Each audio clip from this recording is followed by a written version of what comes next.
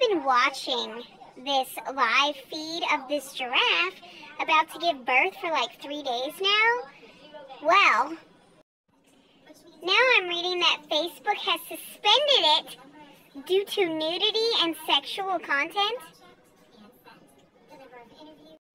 What am I supposed to do with my fucking Friday night now? I have been waiting for two days for this baby to be birthed.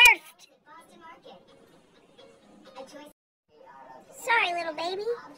I won't get to see you come out of your mom's hoo-ha because apparently it's dirty.